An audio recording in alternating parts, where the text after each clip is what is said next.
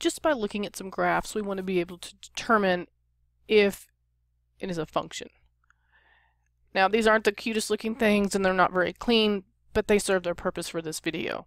So how do you use the vertical line test? It's easy. You draw a vertical line, and as long as that vertical line only passes through one point, then what you see is a function.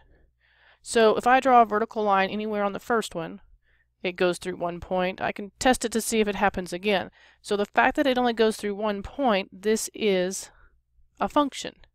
Now if I look at the second one, if I draw a vertical line here, oh my goodness, it went through three points. Well, right off the bat, I don't even need to draw anything else. I just know that this is not a function. Now, this one over here on the right, same thing again. It only goes through one point, so yes, it is a function.